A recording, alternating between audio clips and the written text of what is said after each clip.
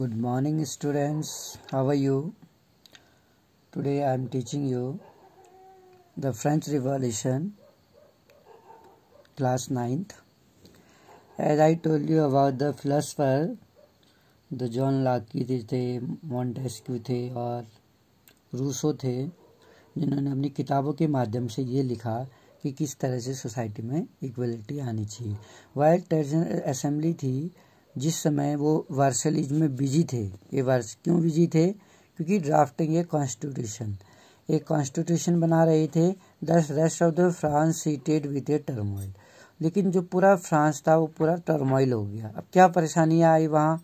ए, सब विंटर में had meant a bad harvest. Winter में खराब फ़सल के कारण, बैड हार्वेस्ट के कारण, जो प्राइस थे ब्रेड के बहुत ही ज़्यादा बढ़ गई, क्योंकि फ़सल बर्बाद हो चुकी थी। तो बाज़ार में जो सप्लाई थी ब्रेड की, वो नहीं हो पाई तो बची ब्रेड के जो दाम थे, बढ़ गए। ऑफन बेक्स, ऑफन बल, अक्सर देखा जाता है जो बेकर्स थे exploit the situation exploited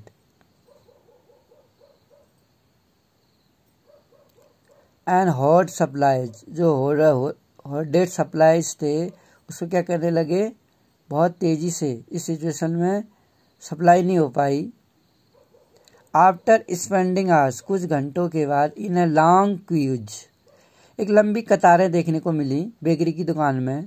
crowd of angry women जो काफ़ी गुस्से थे, गुस्से में थी महिलाएँ, उनकी भीड़ नज़र आई स्टॉम इन द शॉप तो उनका एक जलजला सा नज़र आ गया दुकान में।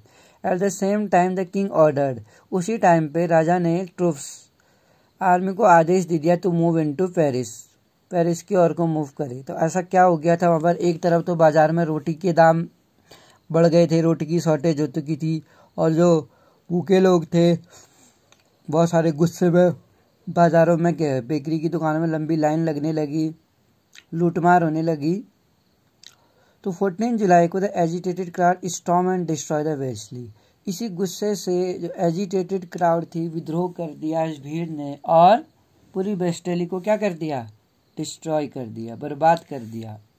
इन द कंट्री साइड गाँव में ये र्यूमर कहते हैं, अफवाहों को। ये अफवाह फैली गाँव गाँव में दैट की ही lord of manor has hired bands of the brigands who were on their way to destroy the ripe crops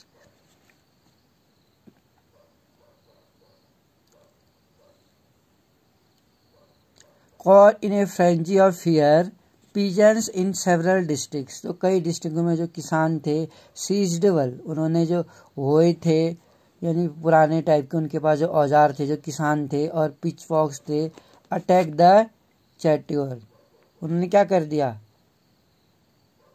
attack कर दिया.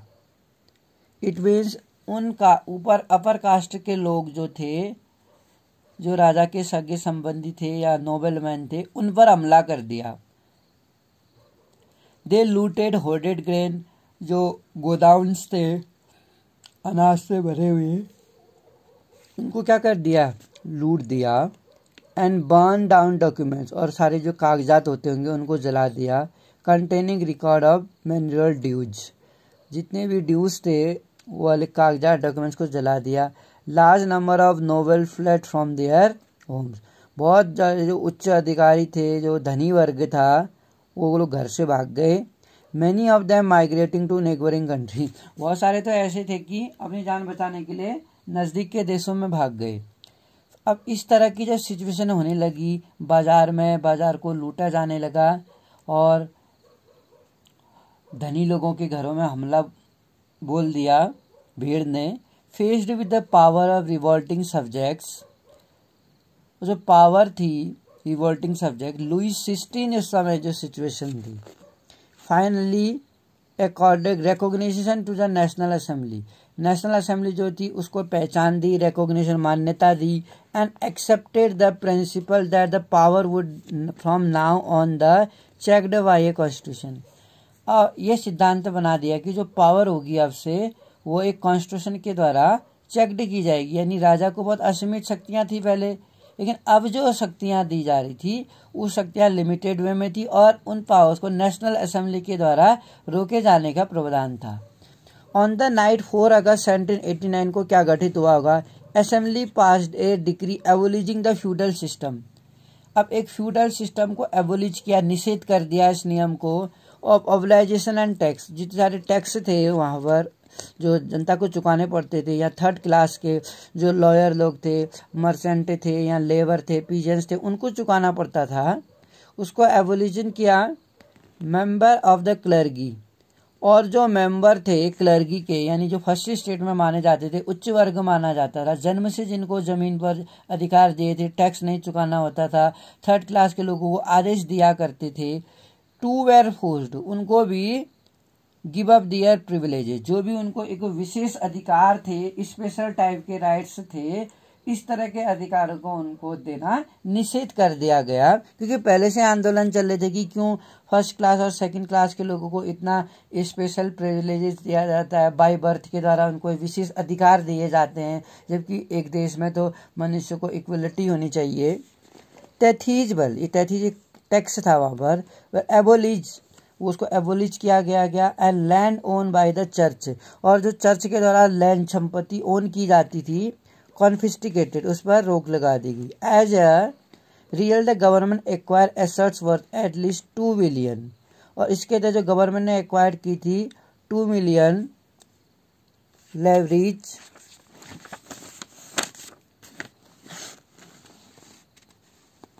France became constitutional monarchy अब इसी सिलसिले में जो फ्रांस था फाइनली कॉन्स्टिट्यूशनल मोनार्ची बन गया। फ्रांस जब कॉन्स्टिट्यूशनल मोनार्ची बना संवैधानिक तो किस तरह से बना होगा वो?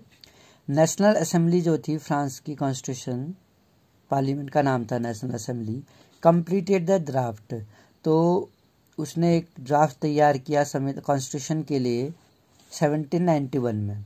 इसका जो मेन ऑब्जेक्ट था, उद्देश्य था was to limit the power of monarch जो राजतंत्र है, राजा है, राजा की शक्तियाँ बहुत ज़्यादा होती होंगी।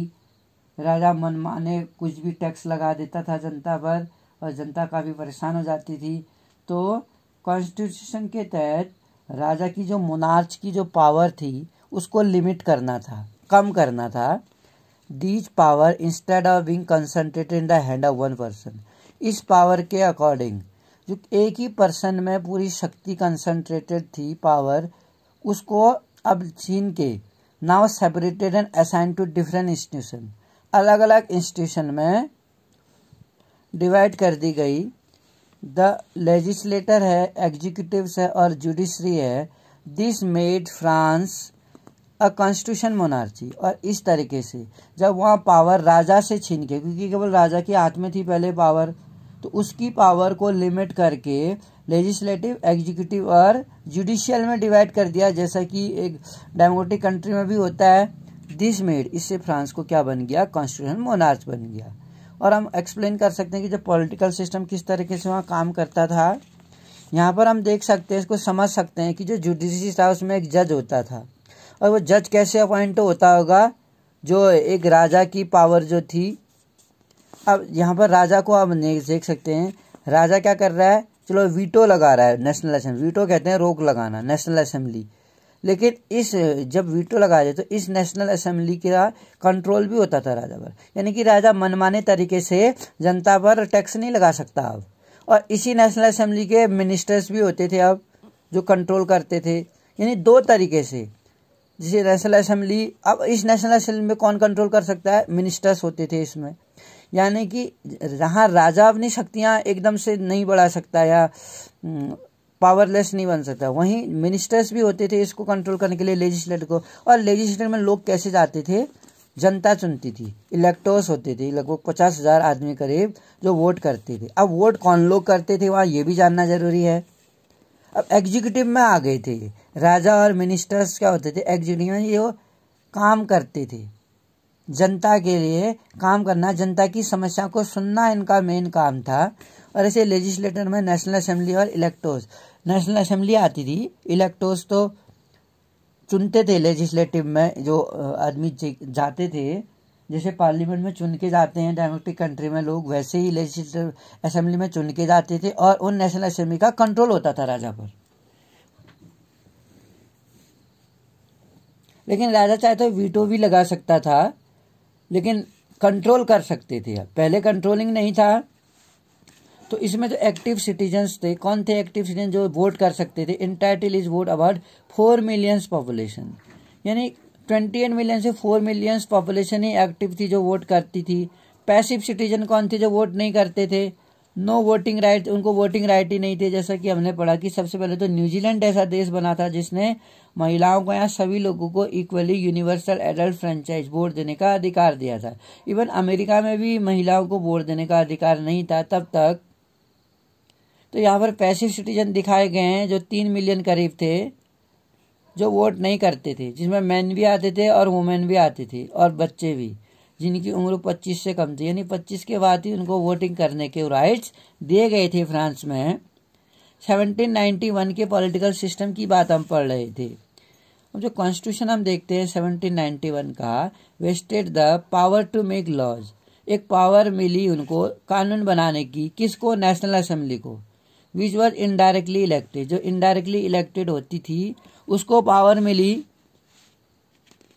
this as a citizen voted for a group of एक सिटीजन थे जो ग्रुप ऑफ़ इलेक्टर्स होता था वोट करता था, वो in turn choose the assembly assembly को चूज़ करते थे नॉट ऑल द सिटीजन हालाँकि जैसे हमने ऊपर पढ़ा कि सभी सिटीजन को तो वोटिंग राइट थे नहीं, जो कि नेशनल असेंबली के लिए लोग, अपने रिप्रेजेंटेटिव को चुन के भेजते और वो नेशनल असेंबली में जो मेंबर होते, वो एग्जीक्यूटिव का काम करते थे और एक जुडिशरी भी अलग थी जो, यानी कि जज को भी चुनने का अधिकार जनता के पास था।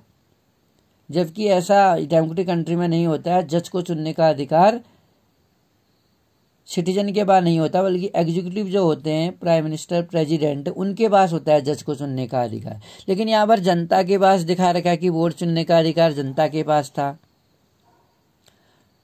तो सभी सिटीजन्स के पास वोट लेने के राइट तो थे नहीं। Only man above twenty five ये कह दिया केवल मैन ही। जिसे यहाँ पर कहा गया है पच्चीस साल से नीचे की महिलाएँ, बच्चे और जितने पुरुष यहाँ पर दिखाई दे रहे हैं, वो पैसिव सिटीजन थे क्योंकि वो वोट नहीं करते थे। उनका भी एक बड़ा परसेंटेज था जो वोट नहीं करता था फ्रांस में। तो यहाँ हमने ये देखा कि जो सभी सिटीजन थे फ्रांस में, उनको वोट देने के राइट तो नहीं थे। ओनली मैन केवल वही मनुष्य जिनकी उम्र एज पच्चीस ट्वेंटी फाइव ईयर से अबव थी, और जो टैक्स देते थे। कितनी अजीब बात है ना? हु पेड टैक्स जो टैक्स दिया करते थे, और equal at least three days of labour wages और कम से कम हमने तीन दिन की मजदूरी देते थे। Were given the status of active citizen उसको एक्टिव सिटीजन का स्टेटस मिल जाता था। They were entitle to vote वो वोट देने के अधिकारी थे। कितना अजीब बात है कि एक व्यक्ति जो इतना हार्डवर्क करके लेबोरियस वो होके अर्न करना है और उसे अपने थ्री डे की वेजेस को वहाँ जमा कर देना है, तभी वो एक्टिव सिटीजन बनेगा यानी उसे वोट देने का अधिकार होगा, पच्चीस साल की उम्र होने के साथ साथ रिमेनिंग मैन और वुमेन जो थी, पुरुष और महिलाएँ क्लैश पैसिव सिटीजन के रूप में क्लैश करती थी to qualify as an elector elector elector के रूप में क्वालिफाई करने के लिए कौन होता था elector then a member of assembly वो मेंबर ऑफ़ असेंबली बन जाता था। And a man had to belong to highest bracket of tax payer जो सबसे ज़्यादा टैक्स पेयर होता था। टैक्स देता था जो, उसी को बनाते थे वो। नेशनल असेंबली में कोई एग्जीक्यूटिव का काम देने के लिए। Constitution began with a declaration of और जो कॉन्स्टिट्यूशन की शुरुआत हुई, एक डिक्लेरेशन हुआ वहाँ पर। सिटीजन्स में right such as such right such the right to life अब वो कैसा डिक्लेरेशन था राइट्स का? जीवन का अधिकार। यानी जैसे वहाँ पर कभी कभी फ़सल बर्बाद हो जाती थी तो क्राइसिस संकट हो जाता था और इस तरीके से बाज़ार में सप्लाई कम हो जाती थी फ़ूड की और कीमतें बढ़ जाती थी। और पॉपुलेशन ऑलरेडी बहुत ज़्यादा थी तो बाज़ार में शॉर्टेज होने के कारण, जैसे कि हमने देखा, महिलाओं की एक लंबी कतार लग जाती थी उस ब्रेड को लेने के लिए, छीना झपटी होती थी, बाज़ार को लूटे गए और जिस तरह से गरीब वर्ग के लिए परेशानी आई और उन्होंने रिच नोवेल्स लोगों के घरों में दावा बोल दिया था और हर जगह पर सरकारी जो आवाज़ है उन पर आग लगाती थी। फ्रीडम ऑफ़ स्पीच मिला उन्हें।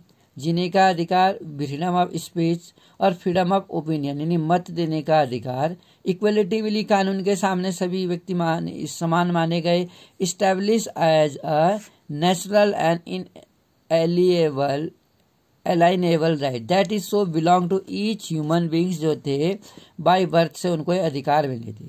Could not be taken away जो छीने नहीं जा सकते थे। It was the duty of the state to protect each citizen और ये एक राज्य की ड्यूटी यानी एक देश की देश का कर्तव्य था कि हर नागरिक को ये जो प्राकृतिक अधिकार हैं, वो बाय बर्थ मिले। बाय बर्थ उनको राइट टू फ्रीडम मिले राइट टू एक्सप्रेस ओपिनियन मिले राइट टू लाइफ मिले, जिनमें उन्हें स्वास्थ्य का अधिकार मिले, साफ़ पीने के पानी का अधिकार हो, और राइट टू फ़ूड मिले उन्हें, क्योंकि क्राइसिस के टाइम पे उनको फ़ूड की बहुत सारी प्रॉब्लम और ये व्यवस्था कौन करेगा? राज्य करेगा, एक स्टेट करेगा, हर सिटीजन्स के लिए एक इक्वली ट्रीट करेगा। यानी कि रिच लोगों को अलग वैल्यू और पुअर्स को अलग वैल्यू ऐसा नहीं था। तो यहाँ पर अब हम देख रहे हैं, जो पॉलिटिकल सिंबल्स हुआ करते थे उन दौरान एक राजनीतिक शक्ति के रूप में प्रतीक माने जाते थे। तो मेजोरिटी जो थी मैन और वुमेन की एटीन सेंचुरी में कुड नॉट रीड और राइट तो बहुत सारी संख्या जो ऐसी थी, पुरुष और महिलाओं की एटीन सेंचुरी में, जहाँ पर बहुत सारा बड़ा वर्ग पढ़ लिख नहीं पाता था। Were frequently use instead of printed word तो प्रिंटेड वर्ड इंस्टेंट के आधार पर टू कम्युनिकेट इंपॉर्टेंट आइडियाज़ वो क्या करते थे? इंपॉर्टेंट आइडियाज़ को कम्युनिकेट करते थे। द पेंटिंग बाई जो ली व्यक्ति था, ली बार्ब उसने एक पेंटिंग बनाई, फिगर में। मैनी सच सिंबल्स बनाए उसने। कन्वे क्या देने के लिए? थे content of declaration of rights जो राइट्स दिए गए थे फ्रांस में, लोगों को सिटीजन को, कि बाई वर्ष सबको इक्वल राइट्स दिए जाएँगे, उसके लिए एक पॉलिटिकल सिंबल बनाए गए। ये सिंबल बताते हैं। यहाँ पर एक ब्रोकन चेन दिखा रहा है। तो ये ब्रोकन जो चेन है, वो किसका प्रतीक थी? Chain were use to fetter slaves अक्सर हम देखते हैं कि जो चेन होती है, वो गुलामी को शो करती है। गुलाम को बांधने के लिए। ब्रोकन चेन यहाँ पर हम, लेकिन यहाँ पर हम ब्रोकन टूटी हुई चेन को दिखाया गया है। इसका अर्थ ये कि for act of becoming free एक आज़ाद को दर्शाता था जो। बंडल ऑफ़ रॉड यहाँ पर हमें एक बंडल ऑफ़ रॉड दिख रही है, जिसमें बंडल्स हैं, और फेस के one rod can easily broken ये दर्शा यूनिटी ये दर्शाती है, जैसे एक रॉड होगी तो आसानी से एक रॉड या एक लकड़ी का टुकड़ा आसानी से तोड़, तोड़ा जा सकता है। लेकिन अगर हम बहुत सारी लकड़ियों को इकट्ठा कर दें तो वन रॉड तो इजीली टूट जाएगी। लेकिन एंटायर जो बंडल होगा, वो क्या देगा? एक स्ट्रेंथ देगा, ताकत देगा। तो स्ट्रेंथ जहाँ बनेगी, वो एक यूनिटी को दर्शाएगी। अब फ्रांस में जब हम इक्वलिटी लाई गई फ्रीडम लाई गई राइट टू लाइफ दिया गया राइट टू एक्सप्रेस ओपिनियन दिया गया जो फंडामेंटल राइट्स वहाँ दिए गए हर नागरिक को। कॉन्स्टिट्यूशन में चेंज करके वहाँ पर जो इतना चेंज किया गया तो उससे कहीं ना कहीं एक यूनिटी को दर्शाता था। अगला पॉइंट ये कहता है, एक eye with in a triangular एक ट्रैंगुलर रेडिएटिंग लाइट्स बनाई गई है, जिसमें एक आँख बनाई गई है। All seeing eye stand for knowledge अब आई का अर्थ ये कि नॉलेज उन्हें प्राप्त हुआ है द रे ऑफ़ सन जो सूर्य की किरण है will drive away the cloud of ignorance जो अज्ञानता के बादल हैं, सूर्य की किरणें क्या करेंगी? अज्ञानता के बादल को ड्राइव कर देंगी, बाहर कर देंगी। और इसी तरह से यहाँ स्कैप्ची जो था था सिंबल ऑफ़ रॉयल पावर एक शाही शक्ति का प्रतीक था ये। ऐसे ही यहाँ पर एक स्नेक बाइटिंग इट्स टेल वल। हम इसमें देख रहे हैं, ये सांप अंगूठी जैसी बनाई है। सांप खुद ही अपनी पूंछ खा रहा है। इसका मतलब है snake biting it tail to form a ring यानी कि बाइटिंग की गई है tail to form a ring कर रहा है। रिंग के फॉर्म में बनाया गया है symbol of eternity eternity since has neither beginning और इस सांप का ना, कोई आदि है ना इसका अंत एक एटर्निटी शाश्वत है वो एक, चलता आ रहा है। रेड फर्गियन कैप जो, फिरंगी जो फिरगियन कैप जो थी कैप वोर्न बाय स्लेव ये जो गुलाम लोग थे, उनके द्वारा एक कैप पहनी जाती थी, जो ये शो करता था कि वो गुलाम है अपॉन बिकमिंग फ्री फ्री चाहते आज़ादी के लिए लड़ रहे थे वो ब्लू वाइट रेड में हम यहाँ पर एक देख रहे हैं लेडी को, the national colour of France. ये फ्रांस का नेशनल कलर है, ब्लू वाइट और रेड। ऐसे यहाँ पर हमें एक द रिंग्ड वुमेन दिख रही है। Personification of the law law का जो पर्सन मानवीकरण दिख रहा है हमें यहाँ पर, जिसमें उड़ती हुई नज़र आ रही है। और एक लॉ टैबलेट दिख रही है। लॉ टैबलेट क्या कहती है? The law is the same कहता है। जो कानून है, कानून सभी के लिए क्या है? बराबर है। And all are equal before it अब कानून सबके लिए बराबर है, इसका मतलब क्या है? सभी कानून की नज़र में बराबर है। अगर वो अपराध करते हैं तो सेम क्राइम के लिए सेम तरह की पनिशमेंट मिलेगी। शायद पहले ऐसा ना होता हो सेम तरह की पनिशमेंट ना मिलती हो उन्हें। इस तरह से France abolish monarchy and becomes a republic abolish अब फाइनली जहाँ पर कॉन्स्टिट्यूशनल मोनार्ची थी एक दौर में, वहाँ पर राजा की शक्तियाँ सीमित थी। और एक समय ऐसा भी आया जहाँ पर राजा की शक्तियाँ जो थी मोनार्ची जो थी, राजतंत्र, उसको एबोलिज किया गया और फ्रांस फाइनली क्या बन गया? रिपब्लिक बन गया। We will study in the next video thank you for listening me